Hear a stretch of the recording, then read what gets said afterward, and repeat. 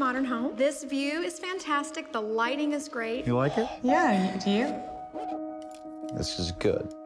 I'm very happy. Excuse me, is your name Simon? Yes, It sir. is you. We went to school together. This is my wife, Robin. This is, I didn't get your name. Gordon Mosley.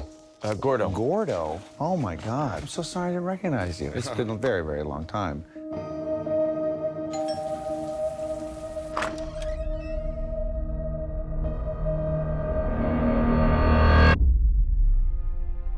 Welcome home, smiley face, Gordo. How do you think he got our address? That's an expensive bottle of wine. We should thank him. I believe that the bad things in life, they can be a gift.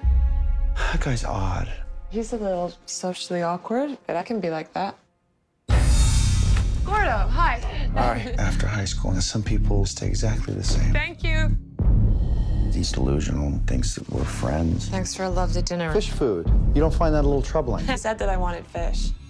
And all the visits when you're alone. They used to call him Gordo the Weirdo. I think he's nice, and he's been very generous. What you're talking about is a one-sided friendship. You're essentially being forced into a breakup. There's no easy way to say this. Don't visit us anymore.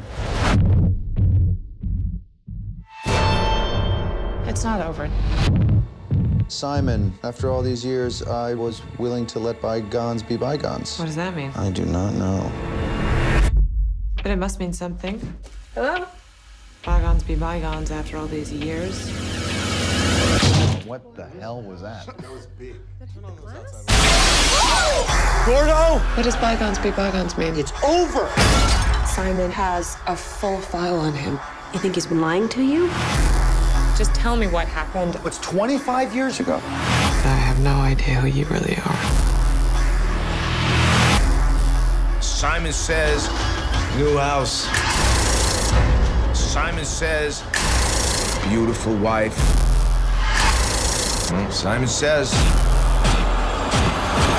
you think you're done with the past, but the past is not done with you.